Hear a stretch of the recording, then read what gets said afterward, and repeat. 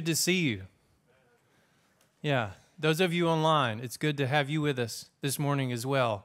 And uh, here's just a, a good reminder for us this, this day is the Lord's Day, and all over the world, God's people are worshiping Him and gathering together to take up His word, to pray to Him, to sing His praise, to encourage one another. We're doing that here. We hope those of you online are encouraged and are worshiping with us this morning. But the Lord is with us, whether we're here in this room, whether we're at home online, um, our brothers and sisters around the world, and many other places. The Lord is gathering us together in His name because we're His people. Amen? And we want to worship the Lord the way He deserves because the Lord is worthy of our honor and our praise and the devotion of our heart. And we want to sing the song that's being sung um, to God's honor and God's glory and God's praise. So I'm going to invite you to stand with us and let's turn our hearts to the Lord and let's worship Him together this morning.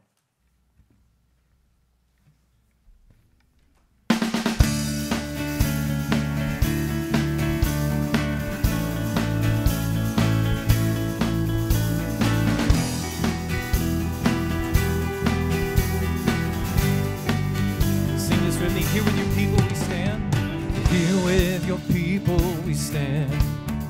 In your name we are lifting our hands. Holy is the Lord. We're shouting, Worthy is the Lamb. Your glory is here in this place, bringing beauty and peace, hope and grace. As we shout out your glorious praise, your love is shining on every face, just like in heaven, just like the saints and angels do. We pour out our praise to you, and all of our worship too, just like in heaven. We gather round your throne of grace, and we offer our deepest thanks, just like in heaven.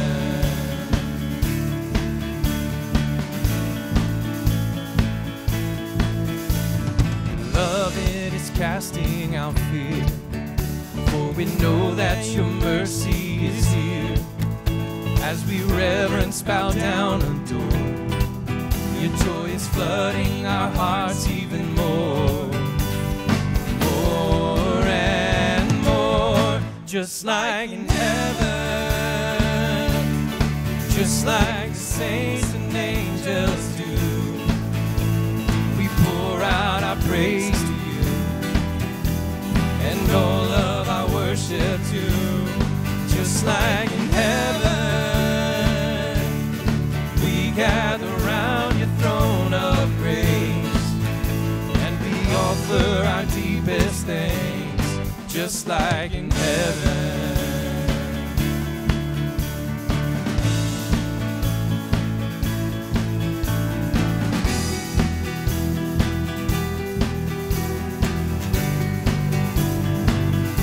Worthy is the Lamb. Worthy is the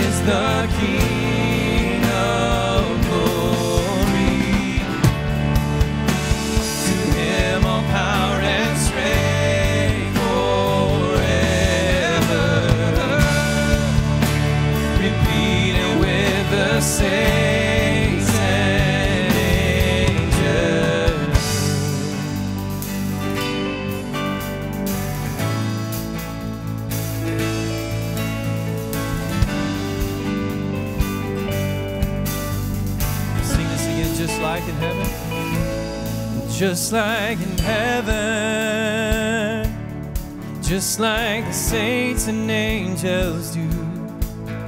Lord, we pour out our praise to you and all love our worship to, just like in heaven. We gather around your throne of grace and we offer our deepest thanks, just like in heaven.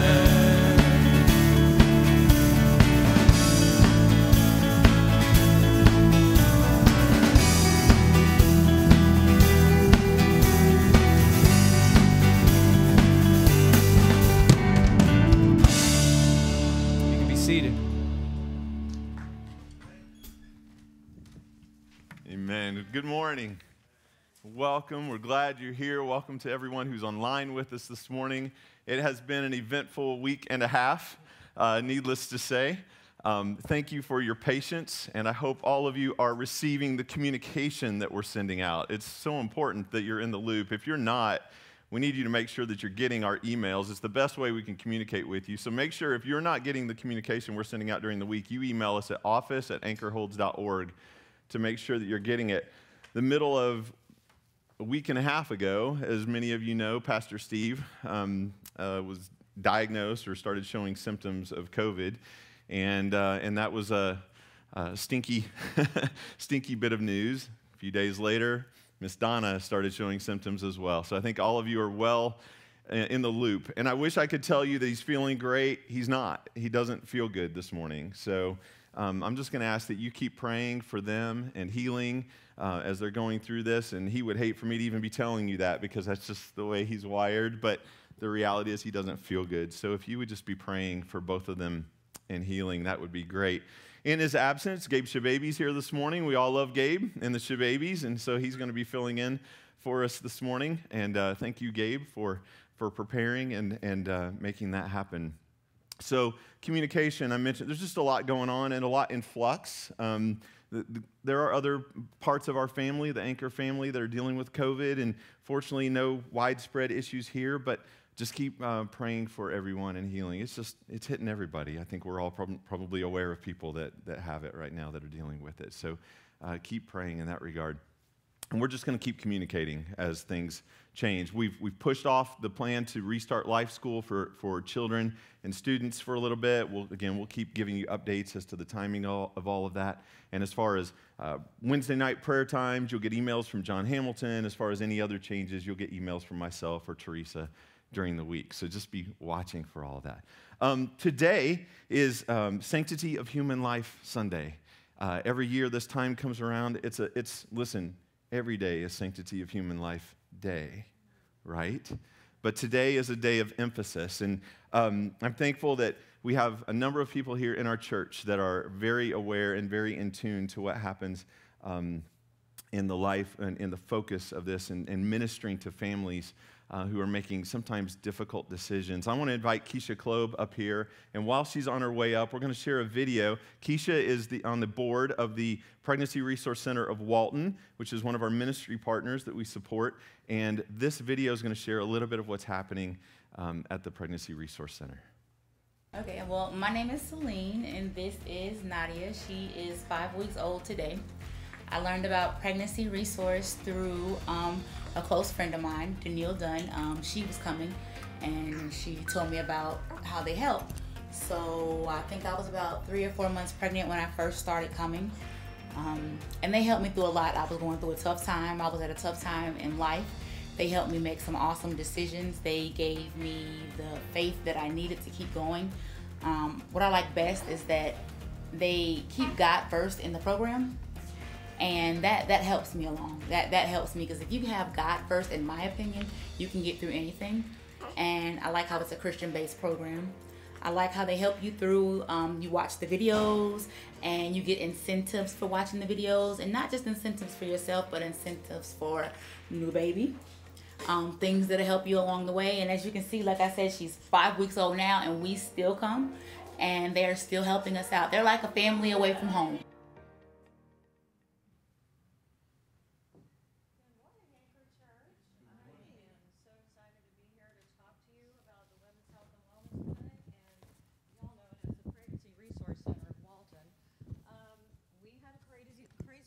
Too, just like um, all of you guys probably did.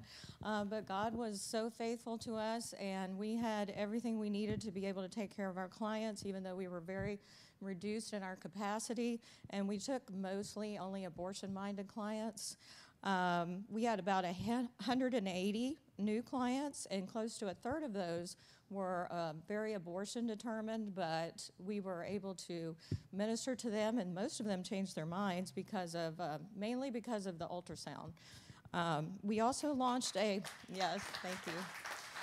We also launched a discipleship program so that if someone receives Christ while they're with us, then we can discipleship disciple them because a lot of them don't go to church. They say about 75% of our clients say that they are Christian, but their church has no relevance in their decision to uh, whether to board, abort or not. And a lot of times when they come to see us, they realize that they don't really have a relationship with Christ and they don't really know what that means. So we also have a, uh, we're also getting a classroom ready for car seat safety, birthing classes, things like that. Uh, we launched an abortion recovery group uh, for women who've had abortions and they want to work through that. Um, and I'm, you might remember last uh, January I told you that we were uh, we got a new 4D ultrasound machine that is the same as the hospitals have right now. And that was just a gift from the Lord. Um, we got that through a grant. We hardly use grants at all. We're, we're totally people and church dependent, but we got um, a grant and we got that for free. They actually upgraded it to what the hospitals have. So uh, we have that now. And so that the good news about that is women who come to see us don't have to go to Monroe if they're in Loganville to get an ultrasound, which is very, very important because a lot of times they don't have transportation and they can't make it to Monroe. So um, that's a huge thing. And the other thing going on, the last thing is that we are researching um, getting a mobile unit for uh, like a van that can go out to places like Social Circle and other places that don't have a pregnancy center nearby because a lot of women in our Monroe clinic actually walk to the clinic because they don't have transportation. So um, I wanted to share with you just two reasons, real quick, why we do what we do. Um, one is that 36,000 unborn lives were aborted last year in Georgia. 36,000 just in Georgia. And half of those, this is an amazing statistic, half of those were repeat abortions. 70% of the women choosing abortion, as I said, identify as a Christian. 76 say their church was not relevant in their decision making process. And 75% were aborting only because the baby would interrupt what was going on in their life, and, or stressful or financial. Um, less than 1% of women actually abort for rape or incest. So, the other reason we do what we do is a little more personal story that I wanted to share with you real quick. Um, because this is kind of a unique story that happened this year. Um, a 26 year old woman called us inquiring about a free ultrasound. She had gone to Planned Parenthood that morning to get an abortion, and thank God they told her she could not get an abortion because she had had an ectopic pregnancy. Uh, and she could not, and they could not see her, and she was going to have to go get an ultrasound. So Planned Parenthood, the abortion clinic, actually looked up free clinics where you could get a free ultrasound. And since we can offer free ultrasounds because of your support, um, she came to see us, and we gave her a free ultrasound. And um, our nurse manager, Laura, said when she uh, was helping her through the ultrasound, she could see the walls falling down, and she said that she the ectopic pregnancy was so difficult that she hadn't allowed herself to connect with that baby. But when she saw her baby on that ultrasound, and the baby was um, healthy and moving and everything was fine, she said that she knew she couldn't have an abortion from that point on. So that just seeing her baby and connecting with her baby like that through that ultrasound, that is what made the difference for her. So as I close, I just wanted to um, appeal to you all because what we do is try to help your neighbor just like God asks us to love him and love our neighbor as we love ourselves. And those are the two most important commandments. And we are asking you just to take one of these little baby bottles when you go out. Um, they're on the tables out there. They have not been touched by human hands. We sanitize all of our bottles and then I put them out with gloves, so don't hesitate to not take one. You can also give online. At PRC Walton, which is Pregnancy Resource Center of Walton. You can also give online. Uh, if anybody has any questions about volunteering or just anything about it, always feel free to come talk to me. Also, uh, Chris Marsh uh, was wanted me to mention that Friday, the um, March for Life is going on. So if you want to participate in that, it's downtown at the Capitol right before noon. And uh, it's usually a really great event. Um, they have really good speakers. Um, so I just want to say also thank you so much to the elders for letting me have a few minutes to speak. And um, also thank you all of you for your support, whether it's a dollar or because you, you, can put cash in here or check in here or coins in here um, and bring that back over the next few weeks and leave it at the front desk up there, and we will pick that up. But thank you so much for your support because thank you, Anchor, for your support. Um, because we could not reach out to these women and help them without your support. So thank you for your prayers and any anything you've done to help our ministries. We love Anchor Church and we appreciate it from all of us at the Pregnancy Center. So thank you so much. Amen. Thank you, Keisha stay here for just a minute. We're going to pray for you. We're going to pray. If you guys want to go ahead and stand, we'll, um, we'll pray, and the praise team's on their way back up. Thank you, Keisha, for everything you're doing and the Pregnancy Resource Center. It just hit me 36,000 abortions a year. That's 100 a day. Uh, um, thank you for the difference that you're making and, and, and the Marshes and everyone who's involved and, and focused on this. It's just a huge deal. To talk about it one day a year seems kind of short, doesn't it? Um, let's pray. Father, we thank you for the blessing and the privilege of being here as your body, as your children today. Father, thank you for the Pregnancy Resource Center, of Walton and Keisha and the board, and all those who volunteer and serve who are part of that team, and all of the various um, uh, organizations that are, that are like uh, the Pregnancy Resource Center all over this nation, all over this world that are ministering to, to women and to families who are, who are struggling with in their own hearts and their own minds um, difficult decisions. And Lord, we know that uh, the children in their wombs are, are created by you and for you, that you have a purpose for them. So, Father, we just, we just ask that you would, in your own sovereign way, reach into the hearts of those, of those women and of those, even of those men, of those fathers. And, Father, that you would um, speak to them and remind them of who you are. Father, that you would even draw them to yourself as your, as your children. And Father, just change lives through, through these ministries. Father, resource them, give them, and use us to resource them and to give them what they need so that they can be effective. And uh, so, Father, we thank you for this time again this morning. Thank you for the praise team that's here this morning. Equip them, speak through them as they lead. With Gabe this morning, God, would you give him clarity of thought as he, as he speaks to us this morning? God, we just love you. Thank you for the privilege of being here. We pray for Pastor Steve and Donna, for our family, for the Hadleys and those who are all dealing with COVID this morning. Would you just reach into their bodies? Would you just heal them this morning? We pray for that. So, Father, we thank you again for your love and your grace in our lives. We come to give you praise. It's in your name we pray. Amen.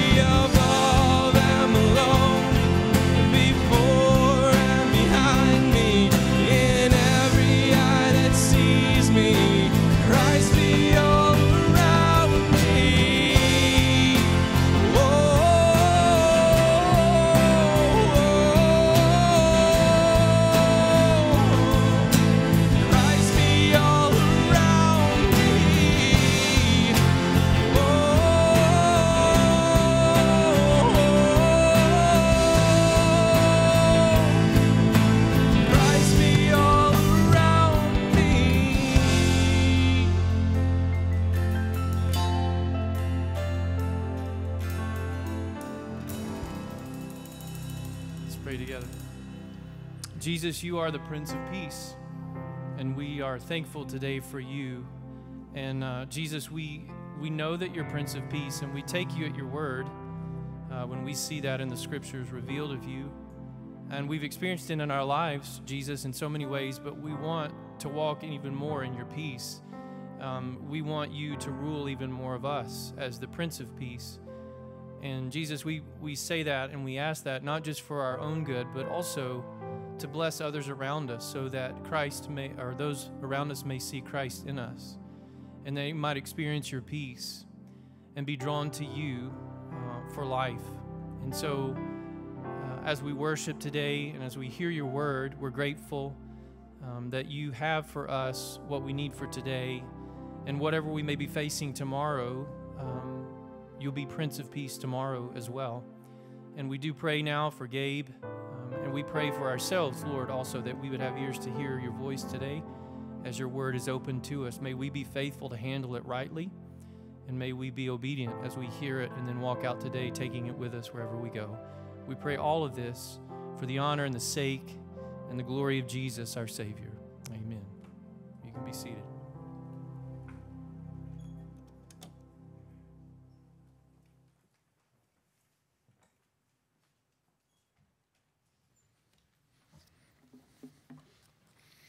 Thanks, guys.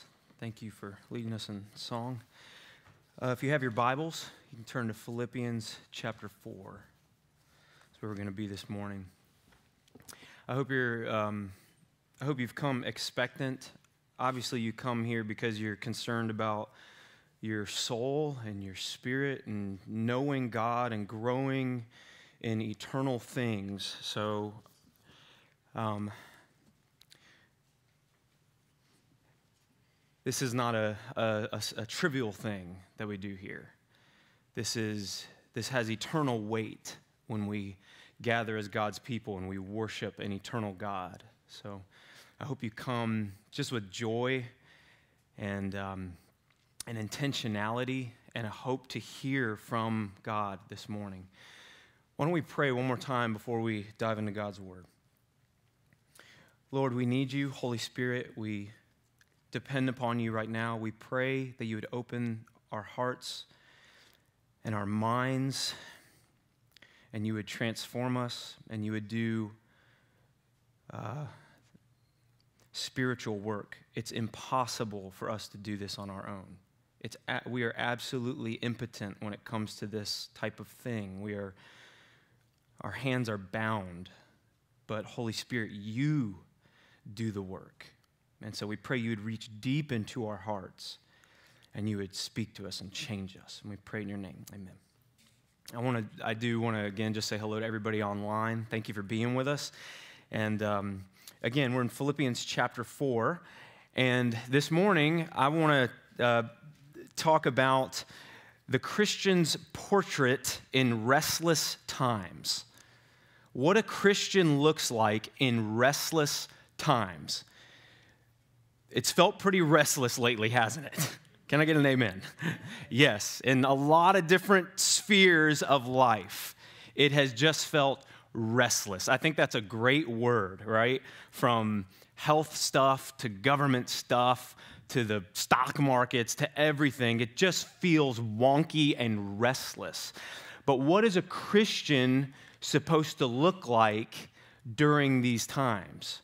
And Paul gives us a great portrait, a great painting of what our lives ought to be uh, marked by, characterized during restless seasons. Philippians is a very appropriate book for this because the whole context of Paul writing this is he's in prison. That's not very fun, right? Talk about restless. Um, there's some struggle and strife, and we're not going to unpack all the details of this context from the actual book, but there's some struggle and strife within the church. There are people outside the church that are um, glorying in their shame, is what he says. Um, and then on top of that, there are false teachers. Uh, a lot of scholars say it's the Judaizers again, rearing their ugly head.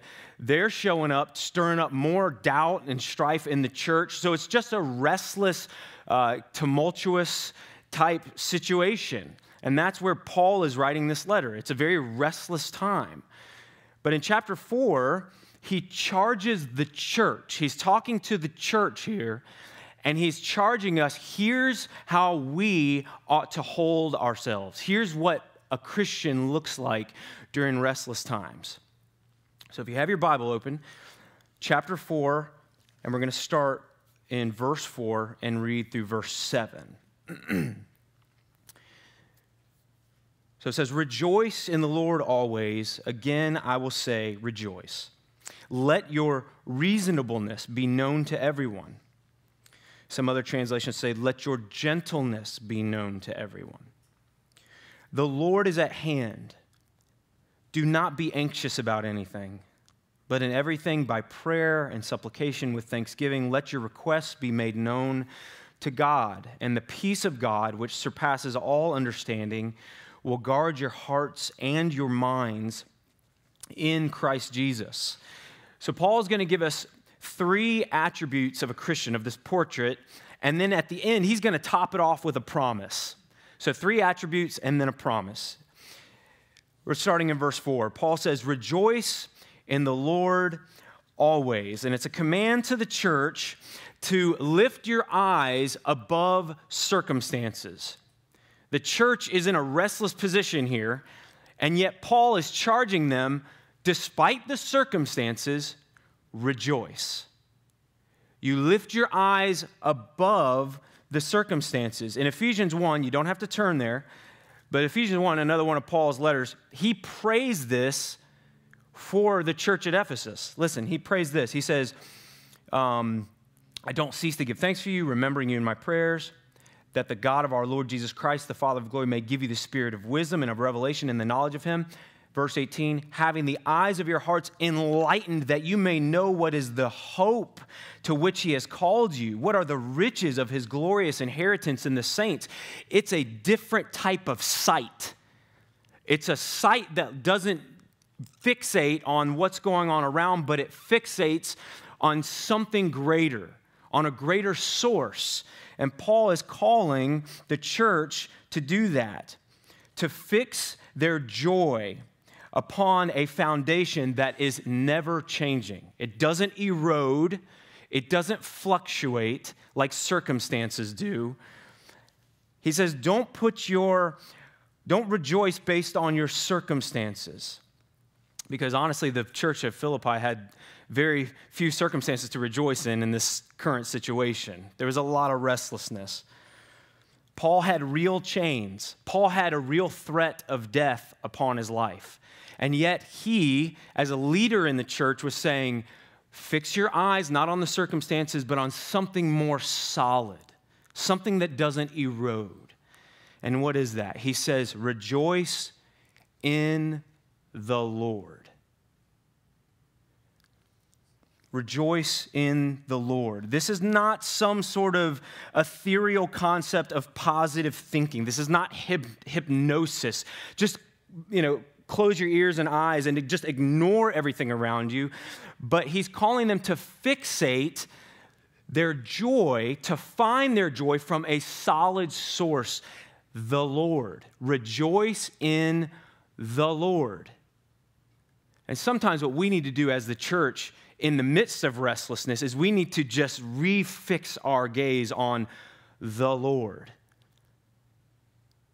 Do I need to remind us this morning? I think I do, because I have to remind myself that God is immutable. God is unchanging. Let's just take a second and let's, because some of this is like joy in the middle of restlessness. What are you talking about? Joy in the Lord. Let's, why don't we remind ourselves who the Lord is? Psalm 102 Listen to this. Of old, you laid the foundation of the earth, and the heavens are the work of your hands. They will perish, but you will remain. They will all wear out like a garment. You will change them like a robe, and they will pass away, but you are the same, and your years have no end. The children of your servants shall dwell secure, their offspring shall be established before you forever. God is immutable. He does not change. How can you rejoice? Because God doesn't change. Hebrews 13 8. Jesus Christ is the same yesterday. He was the same, you know, two months ago during election mayhem. He was the same, was it, February of 2020 before COVID started. He was the same then. He's the same today, and he's going to be the same tomorrow. Amen. Rejoice in the Lord. Listen to James 1:17. Every good gift and every perfect gift is from above, coming down from the Father of lights, with whom there is no variation or shadow due to change. You can find solid joy in a God who never changes.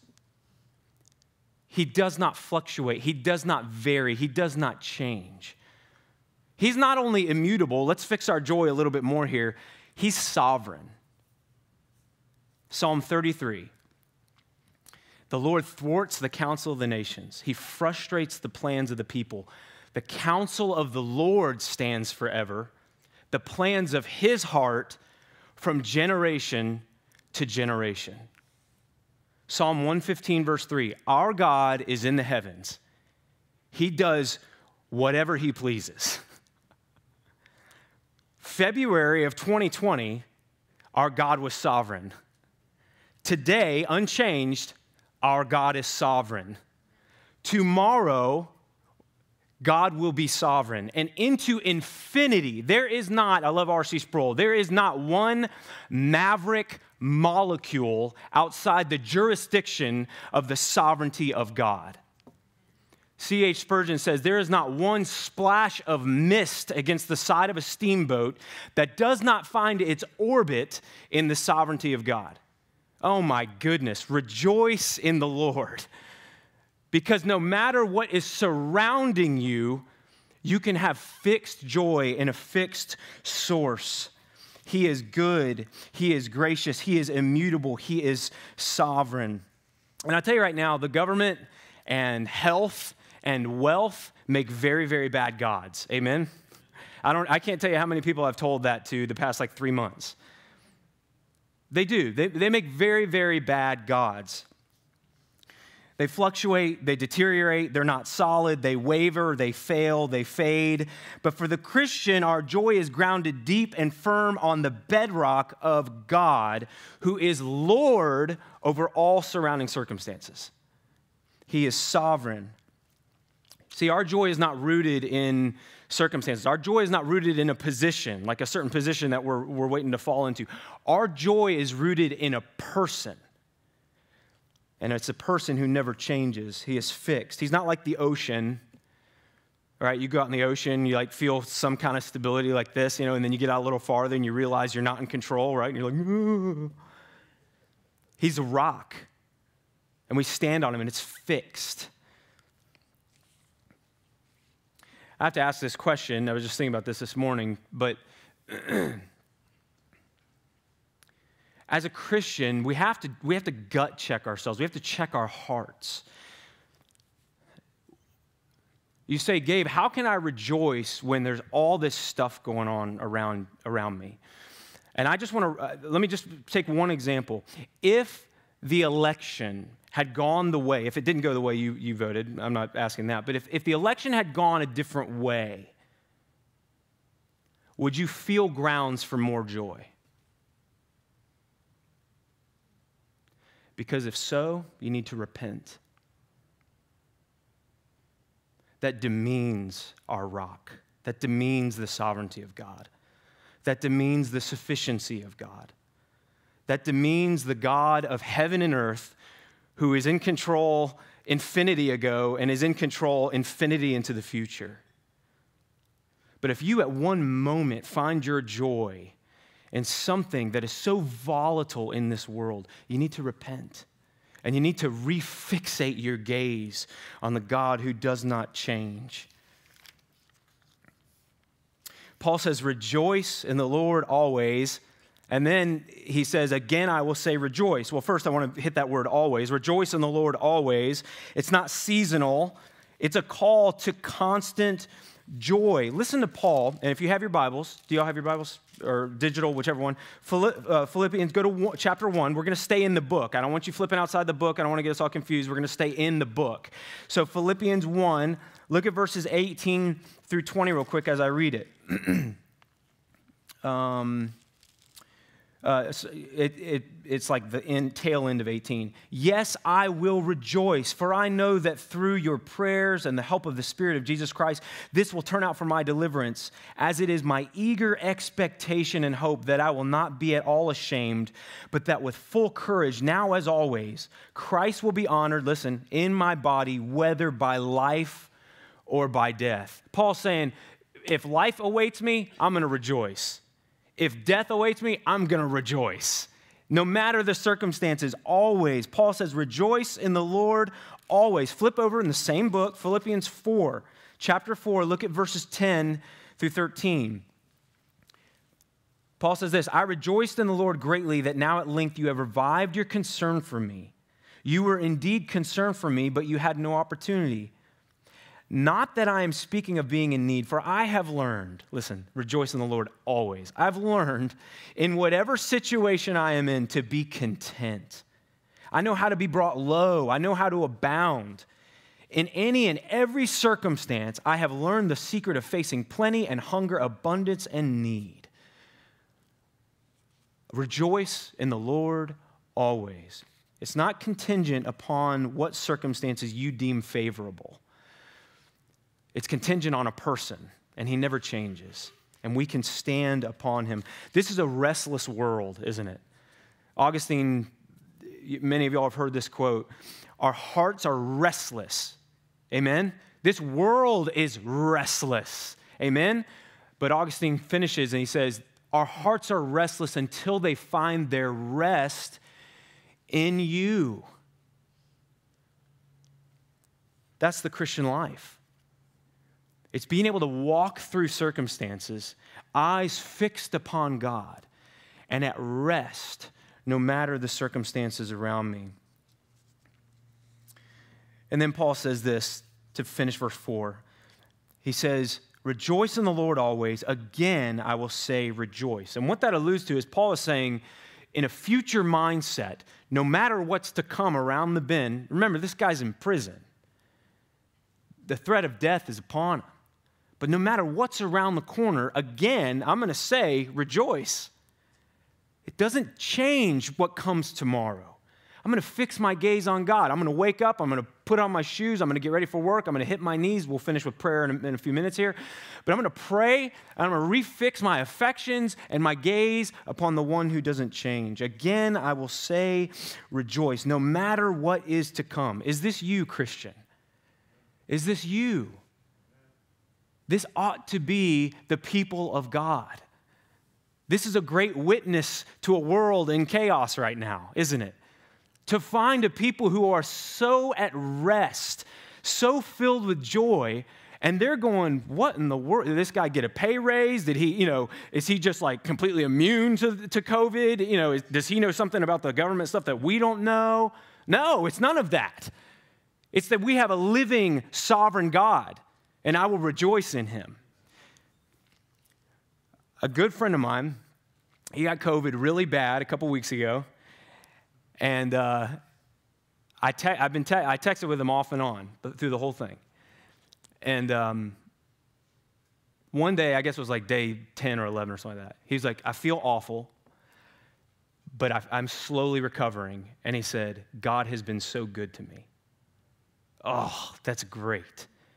Rejoice in the Lord always. I feel like warmed over casserole, you know? I feel awful, but God has been so good to me. That's a testimony the world needs to hear, to see from the church. Y'all know who Corrie ten Boom is. Um, I'm not going to read this whole thing, but her and her sister um, were put um, in a, a, concentration camp uh, in the barracks for females. We have a picture of that, I think. It would look like this uh, horrendous. Um, during World War II, and um, in the barracks, uh, you know, there was scattered straw for people to kind of lay on, but it just smelled absolutely horrific. Um, they would cram them all into these, these bunks and, and just kind of hope that they survive as, as they could. But her, Corrie, and her sister, um, Betsie, uh, got into one of these bunks. And when they were there, suddenly Corrie uh, stood up and she, she hit her head on the cross slats above her bunk. Something had bitten her leg. Fleas, she cried. Betsie, this place is swarming with them. Descending from the platform and edging down a narrow aisle, they made their way to a patch of light. Here, and here's another one, Corrie uh, wailed. Betsie, how can we live in such a place?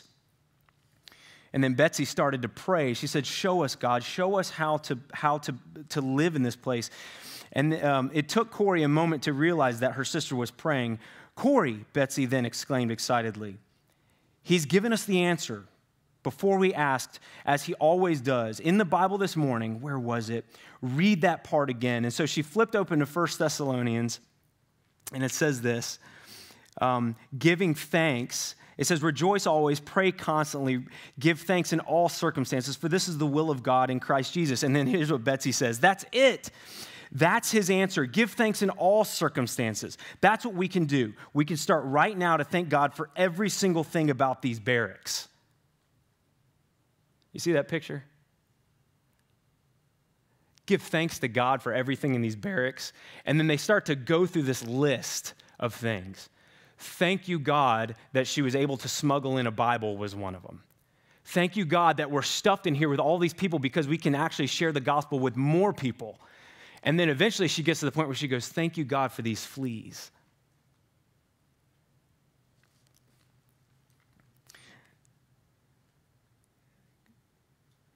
Thank you for the very crowding here, since we're packed so close that many more will hear. Oh, all right, Corrie said. Thank you for the jammed, crammed, stuffed, packed, suffocating crowds. Thank you, Betsie continued on serenely, for the fleas and for, but that was too much for Corrie. She cut in on her sister, Betsie, that's way, there, there's no way even God can make me grateful for a flea. Give thanks in all circumstances, Betsie corrected. It doesn't say in pleasant circumstances. Fleas are part of this place where God has put us. So they stood between the stacks of bunks and gave thanks for fleas, though on that occasion, Corrie thought Betsie was surely wrong. Rejoice in the Lord always. Again, I will say rejoice. Let's keep moving. The Lord is at hand. Do not be, oh, I'm sorry, uh, skip verse 5. We're on verse 5. Verse 4 Rejoice in the Lord always. Again, I will say rejoice. Let your reasonable be, reasonableness be known to everyone. And I like the translation that uses the word gentleness. Let your gentleness be known to all people. This is another feature on the portrait of a Christian. So the first one is joy always, the second is gentleness to other people. What is Paul hitting at here? This joy, this steadfast, immovable joy that is founded on who God is, is revealed in our gentle attitude towards people. This is a mark. This is part of the portrait of a Christian during restless times. Stay in Philippians with me and just flip over to chapter 2. Gentleness to all people. I want to highlight this with a couple, couple quick verses. In chapter 2, verse 3, he says, Do nothing from selfish ambition or conceit, but in humility count others more significant than yourselves. Let each of you look not only to his own interests, but also to the interests of other of others. Look at uh, chapter 2 verse 14 and 15. Do all things without grumbling or disputing, that you may be blameless and innocent children of God without blemish in the midst of a crooked, twisted, restless generation among whom you shine as lights in the world. Look at chapter 3, verse 18. For many of whom I have often told you and now tell you, even with tears, walk as enemies of the cross of Christ. That's a picture of the gentleness, not just towards each other, but even towards enemies. And then the capstone of this illustration, what, what a Christian is supposed to look like during restlessness, flip back to chapter 2 and look at verses 5 through 8. Have this mind among yourselves, which is yours in Christ Jesus, who, though he was in the form of God, did not count equality with God a thing to be grasped, but emptied himself by taking the form of a servant. Being born in the likeness of men and being found in human form, he humbled himself and became obedient to the point of death, even to death on a cross. Let your gentleness, this is part of what a Christian is marked by gentleness to others in the midst of restless circumstances. This is not from the flesh. This is not common and this is not easy and it's in very, very short supply. We are arguing about everything. We're arguing about masks, no masks. Is this correct information? Is this misinformation? We argue about politics, social media, who's got the most power. We argue about color of our skin. We are, you know, argue about whose fault is this and whose fault is that. All these types of things. But the Christian is not that way. We are called in restlessness to be so fixed in joy upon who God is that our gentleness is known to other people. What a great testimony to a restless world. Man, that guy's just nice. What's his problem? Right? Wrong side of the bed that guy woke up on. But it stems from a joy that is not contingent on circumstances. Once again, this is a great witness in our day. And some of y'all may say, Gabe, I want that. The circumstances around me are just kind of tumultuous, it's just frustrating sometimes. And I get upset about things. What do I do? How do I live like that? How do I live a life that is gentle towards others? Well, Paul first tells us what not to do. Look at verse 6. Don't be anxious that's the worst thing you could do. Don't be overcome by anxiety. Y'all, that rings the bells of Matthew 6, right? Sermon on the Mount. Jesus, he says, don't worry about anything. Worrying never solved anything. Who, who by worrying, Jesus said this, who by worrying added one day or one hour onto his life? Anxiety, anxiousness never solved anything. It's an, and what anxiety is, it's an, it's an unrest, it's a restlessness of the soul. It's a strain in the soul. And here's where I think this comes from, okay? I think anxiety finds its roots by just an inordinate preoccupation with surrounding circumstances. I think the more we just fixate on the surrounding circumstances and, and, and not upon who God is, it breeds anxiety and unrest in our hearts. And we're just, we're worked up constantly about things. And the worst part of anxiety that I think we all could admit is that it stems from a place where we just realize I'm not in control. We're just grasping. I'm not in control. I'm not in control. And so, what do I? I'm just anxious always. There's no rest. There's no peace within me. This is not part of the portrait of a Christian. And again, I call to repentance. If you, if you live in constant anxiety, it doesn't mean that we don't get upset or frustrated, but if your life is just plagued by anxiety and you're a Christian, repent of that and refix your gaze on God. Because what anxiety does is it casts doubt upon God. I can't trust you. I'm not in control, so I can't trust you. That's what anxiety says. And this is not a portrait of the Christian. So Paul says, let your gentleness be known. How do we do that? Not by being anxious. Here's, what he, here's the answer, though. But in everything, this is verse 6, by prayer and supplication with thanksgiving, let your requests be made known to God. Here's what's interesting about that part. Look back at verse 5. Let your gentleness be known to everyone. But then in verse 6, he says, Let your requests be made known to God. Yes, life has burdens. Yes, upsetting things happen. But we are to unload those burdens onto the sovereign shoulders of a good God and not onto people. That's how you can be joyful, is because you're not taking your mess, your burden, and laying it on people. Instead, by prayer and supplication with thanksgiving, we're going to God in complete dependency and in prayer. Make your requests, your burdens known to God. Psalm 55 22. Cast your burdens upon the Lord. Cast your cares upon the Lord, and He will sustain you. He will never suffer the righteous to be moved. Yes, God hears, He cares, He works. Lay your burdened soul before God in prayer. Bring your burdens to Him. The Lord is near to all who call on Him. That's Psalm 145. And so we are not a people in unrest, but we are a people who are dependent. When things around us are in turmoil and we feel burdens upon us, we go to God. Let me ask you a question. In all the restlessness that's been happening in our culture, all of us have, have, have been hit by it in some way. How much in prayer have you been? Have you been a person of prayer, of dependency, of leaning upon God? Of saying to God, God, in this, in this situation, you can, but I can't. I'm dependent on you. I, I, I do feel uh, uh, powerless, out of control. Things are out of my control, but I come to you, a God, the God who is in control, and I lay all things at your feet.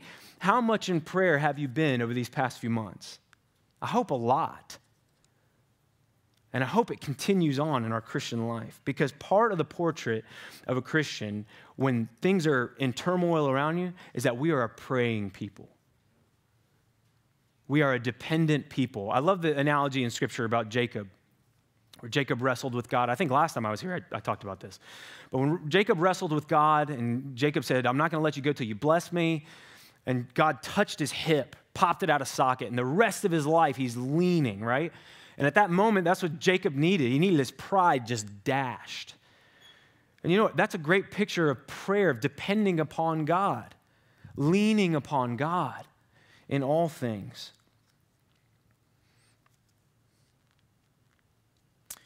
Go to God in thankful, honest, bold prayer.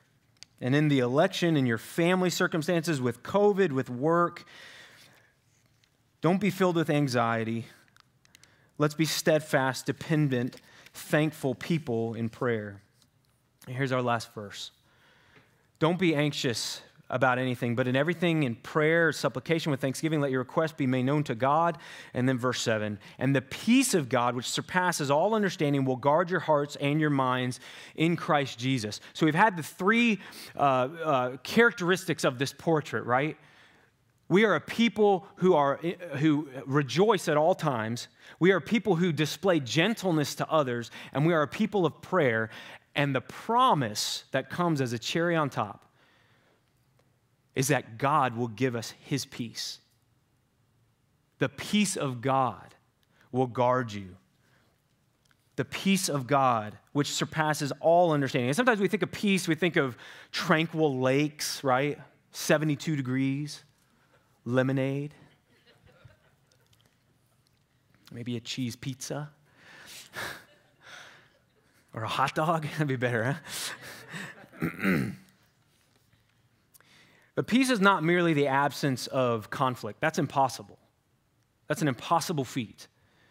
You know, all those, like, what do you wish for in the world? Of world peace. That's, and it's impossible. There's not going to be that type of peace. This peace of God is an inward state of rest. It is a resting in God. Anxiety is unrest. Peace is rest. And the peace of God is a resting in God. It is the ability of the church to say, All is well. When God is on his throne, all is well. We can say that every single day. When you wake up tomorrow, when, when you know, uh, restlessness of, of health and wealth and politics, all these things, you can lift your eyes and go, God is on his throne all is well. When Jesus is Lord, we were saying that song just a minute ago, King of Kings forevermore, all is well. And the peace of God, which surpasses all understanding, will guard your hearts and your minds in Christ Jesus. This is a, a, peculiar peace for the Christian because it's not just circumstances are falling in line. This is the peace of God, which is in Christ Jesus. And what is that peace? I think Romans 5 1 says it the best way. Therefore, since we have been justified, uh, therefore, since we have been justified by faith, we have peace with God through our Lord Jesus Christ. You know what this peace is, where it's grounded? It's grounded in the cross, it's grounded in the blood of Christ. It's grounded in the greatest battle that was ever fought, but the victory is fixed, the battle is won, and God's people, his church, cannot be conquered by death, by hell, by Satan. The main issue is fixed and done. And you know what we can say as a church? Because of the gospel, not because of anything we've done, we can say, all is well. I told my wife this the other day. What's the worst that can happen? I can die. Philippians 1, what does Paul say? He goes, Man, I want to die, right? He's like, I want to go be with Jesus, but right now I need to stay here. This is a peace, this is a rest that the world does not know about. It's sad. we're not going to get to, I wish I, you know, we continue on, but at, at the end of this paragraph, Paul talks about taking this peace out to the world. But it's a, it's a peace that the world doesn't know. I, I work in, um, in Decatur. And there are, there are a couple yards, they're just laughable to me. It's just hilarious. I mean, like, I know we get excited about certain things, but like, anyways, so you, you drive through these, these certain routes to get to work. And I'm telling you, yard signs are like, I mean, that's like gold out there, man. They're just, but this one yard, I'm telling you, it had like 12 yard signs. Okay? I mean, like candidates' names and thank you for this and candidate this and candidate this, this, this. But you know what that's a sign of? It's a sign of unrest. It's a sign of grasping for peace. That's what that is. When someone has such an innate, uh, uh, just uh, uh voracious thirst for a political party to come into power so that they can receive peace, they're going to be disappointed. The peace of God is a peace that lasts forever. Jesus Christ is the Prince of Peace. And the Christian, the church, knows rest even now. Do you have rest, peace in your heart? Even in the midst of all this? You should, because all is well. At those moments when you're washing dishes at the sink, or you flip on the news, or you, you see something on Facebook, or you're at work and just some kind of, you know, you just feel that pressing of unrest, you know what you need to do? You need to think back at the cross. And you need to remember all is well. My soul is purchased. Death has no more power over me. Sin has no more uh, uh, uh, power over me. I can no longer be condemned because I am in Christ. This is a rest that the world does not know about, but they do know, or they need to know. Horatio, um, I can never remember his last name, Spafford. Um, many of y'all know this story. Uh, he was a, a real big in real estate, all these type of things. Went over to the states, left his family behind, sent a, a telegram to, for his wife and his kids to come after him. Uh, he figured they, they could use a vacation. It's time for them to kind of reunite and, um, and be together for a little while. And on the boat ride over, the, sink, the, the ship sank in the middle of the ocean, and all of his children died. His wife was saved, and she wrote him a letter, and when he got it, all it, all it said was, saved alone and he realized that his whole family had died except for his wife. So he got his stuff, he gathered them together, took a boat back across the ocean, was heading home to Europe. And when they got to the place where the ship sank with his children, the, the, uh, the, the captain of the ship he was on said, This is the exact spot where the ship went down. And moved probably with a lot of emotion but a steadfast joy in a sovereign God, he took a pen and began to write a song called It Is Well.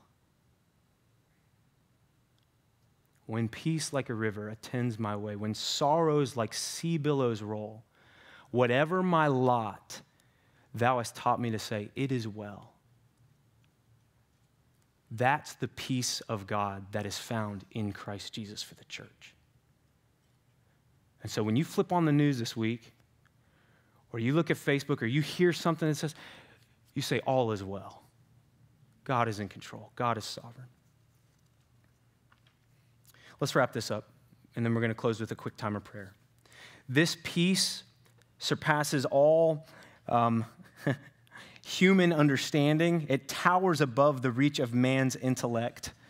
It's a great witness during this time this peace guards the heart of the Christian. It's like a shield. That's the word he uses. He says guards. It's like a garrison. Um, it's almost like a castle built around us, or we're, we're held in it. And in the disquiet of a world, our soul is lifted above it because we have this peace. So let me close with some questions.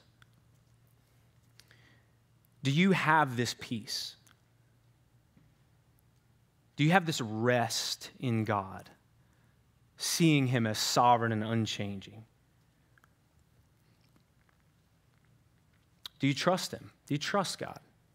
That's a very basic question, but do you trust Him?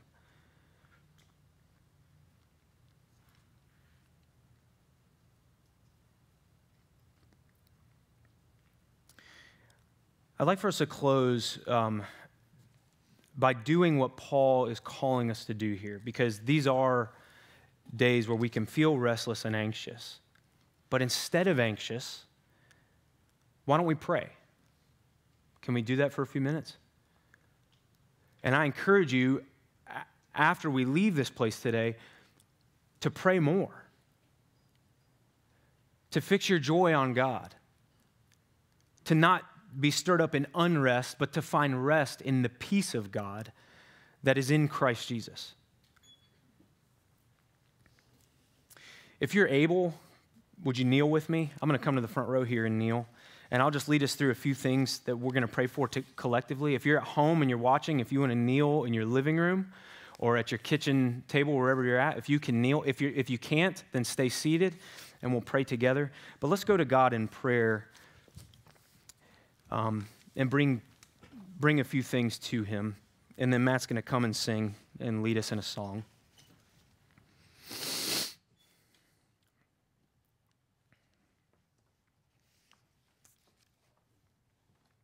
If you've been, if you've been anxious these past few weeks and months, if your thoughts have been just stirred and troublesome, and there's just constant fluttering of your heart and anxiety in your stomach, and you're constantly asking, What if, what if, what if, what if? Why don't we pray first and bring those anxieties to God, bring that unrest to God? Pray for that. Pray, do that before the Lord right now.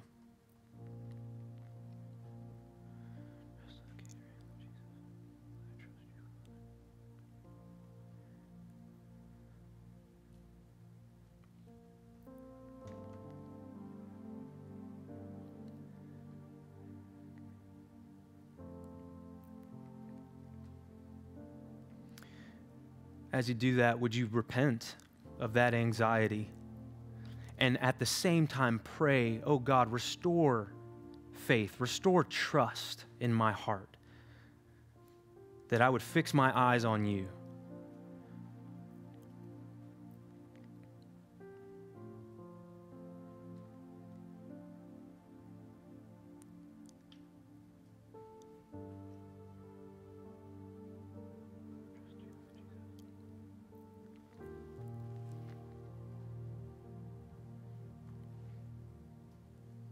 Pray for peace in your heart. Pray that the gospel would be the foundation of your peace, of the peace of God.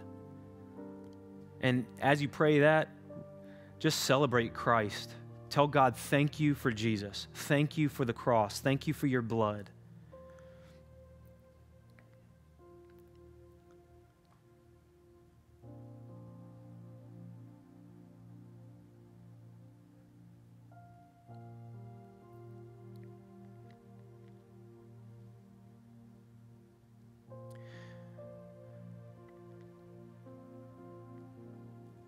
Pray that we would be a people who rejoice always, no matter the circumstance, and that we would be a people who trust fully in the sovereign goodness of God.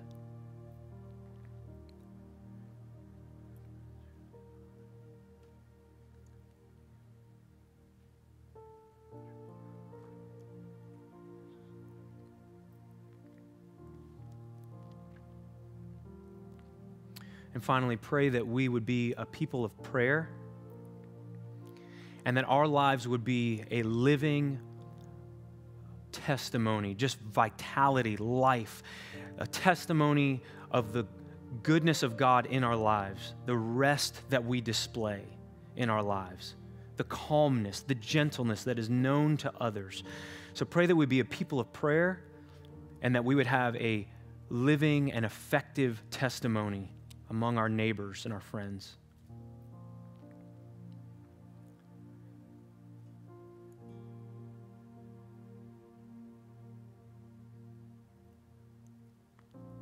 God, we trust you. We love you. We worship you. God, you're on your throne. All is well. We will rejoice. Rejoice in the Lord always. And again, I say rejoice. We can rejoice in you, Lord, because you are enthroned, you are King of kings, Lord of lords. You're not taken off guard, you're not frantically pacing heaven, wondering what's happening, but you are trustworthy. And we say as a church right now in our hearts that all is well because Jesus is Lord. All is well. And we pray this in your name, Jesus. Amen. Why don't you stand and sing with us?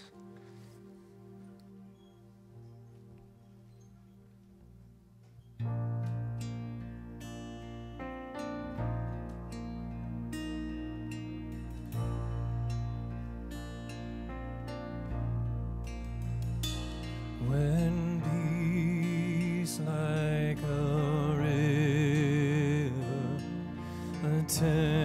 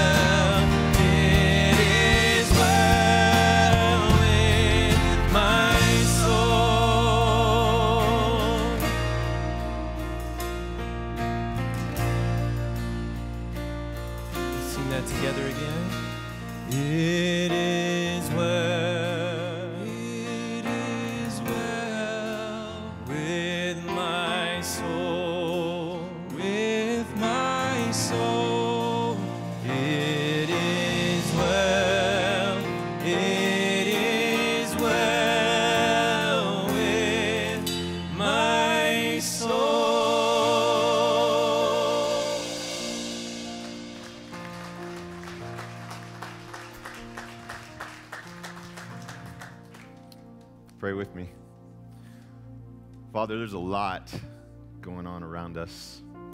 And this week is a significant week in the life of our country. And so, as Gabe has already shared, for all the things that, not just um, in this bigger picture of our nation, but just in our lives in a very personal way, God, um, there's stuff. And that stuff can be so paralyzing and can get all of our attention. God, would you remind us of those words that we just sung?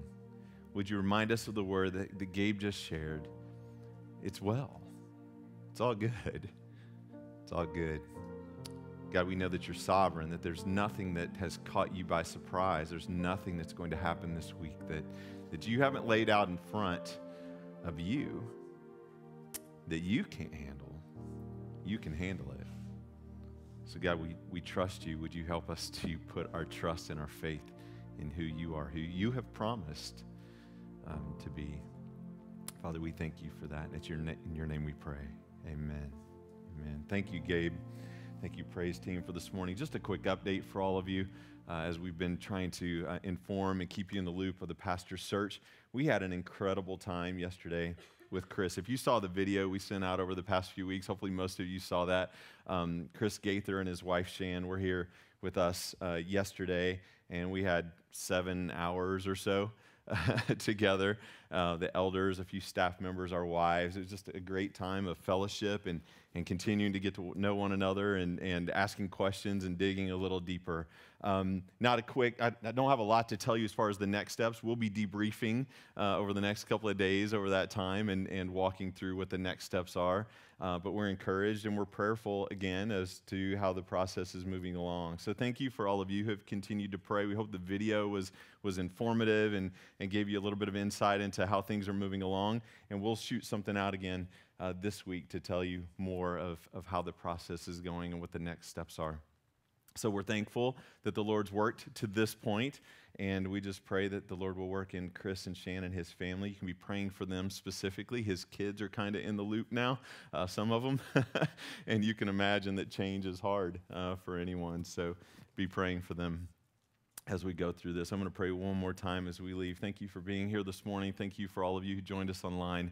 There is again the information ways that you can communicate with us uh, as we as we continue to move forward. Thank you. Let's pray. Father, one more time.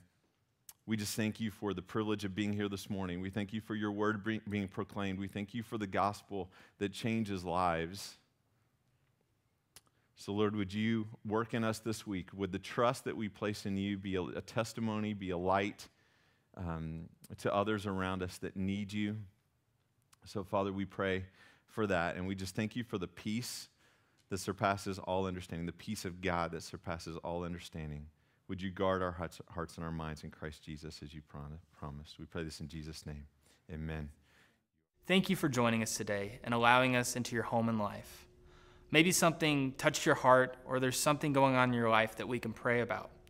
Or perhaps this might be the most important day of your life, and you made a decision to follow Jesus as your Lord and Savior. Whatever it is, or wherever you are in your spiritual walk, we would love to pray for you. And you can send those prayer requests to us at prayerline at anchorholds.org, and we'll connect with you and meet you right where you are. We hope today has been a blessing to you and that you'll make the decision to join us again next week. We look forward to seeing you then.